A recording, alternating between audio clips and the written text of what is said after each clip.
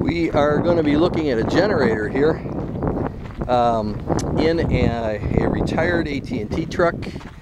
Uh, stock number 1447. Truck only has 82,000 miles on it.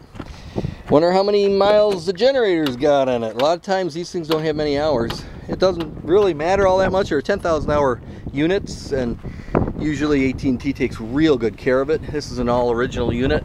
It's water cooled exhaust, Ford four cylinder.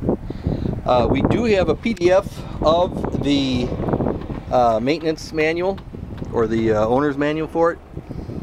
And let's fire it up. Here we go. So we go around this side, it's got a remote start. It's also got a starting unit on, or starting button on the actual unit. This one has 2,700 hours, that's it. This is a cold, cold start.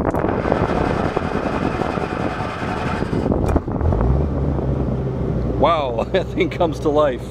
Okay. Um, now these are just like uh, car, alt they do have car alternators, Ford four cylinder, and it's charging nicely, 13 and a half volts. So you got 240 volts. Uh, of course, no amps, we aren't pulling yet. Uh, a little bit over six, yeah, there it goes, settling down at about 60. Turn the breaker on. We're gonna turn the blower on. The blower is a manhole air blower. It takes a little bit of power. It's a big yellow hose that goes inside the uh, the manhole. These are locked, so I can't show you. But anyway, it's it it blows the air so the guys can breathe down there fresh air. Okay, here we go. Blower. There it goes. Low and then high speed. Now it's blowing air. I can hear it in, in drawing air.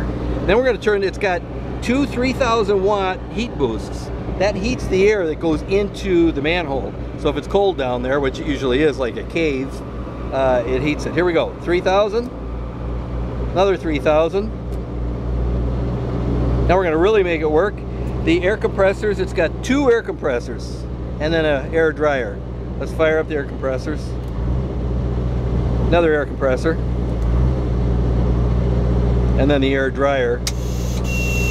You can hear the air starting to work. You can see, look how fast that comes up the uh, coming up. To 20 psi already it had zero in it. So it's just sitting there humming right now. We're pu pulling over 50 amps. Let's go listen to it run.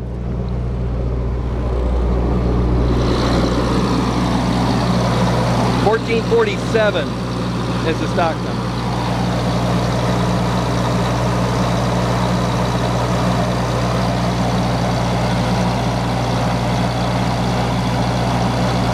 A good running machine. The way these are designed is the, the fan blows this way. And the exhaust comes out here. It's liquid cooled, so it's not that hot. So it comes out this way and blows that way out the drained area. Let's shut that just for a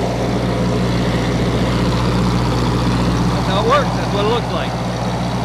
But we are going to remove it from this truck Or you could buy the whole truck for about 7000 with all the stuff in it.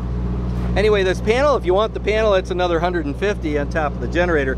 But it's kind of neat. You can, uh, well, you can see it on the side there. You can barely see where my fingers. There's another starter button. There's more outlets on the side of this control box. So it's kind of nice to have the breakers and so forth, and then the control. All right, let's shut things down. The compressors are already up to 120 PSI they've shut off. Well, no, that one didn't. That one did. Okay, so the compressors are off. Heat boost one, heat boost two is off. Blower, low speed, off. Breaker, no juice now. Now it's freewheeling. Doesn't that thing sound good? Smooth, steady. It's a low speed, 1800 RPM. Now let's shut it off. And that was a cold, cold start, so that it's not really even warm yet. But here we go, we're gonna shut it off. And then now I'm going to fire it up again for you. Here we go.